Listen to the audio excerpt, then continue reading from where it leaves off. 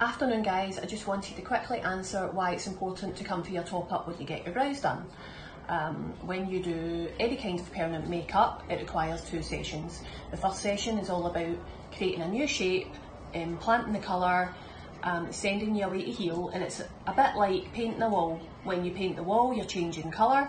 When it dries, it will be slightly patchy and uneven in colour, and it's the same principle with skin. Your immune system will be successful to a certain degree in getting rid of some of the colour.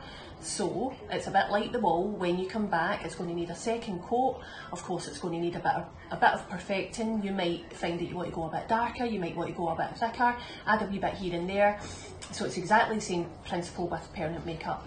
Um, so it definitely needs two sessions, and that's um, and that's usually incorporated into the price. So always check that.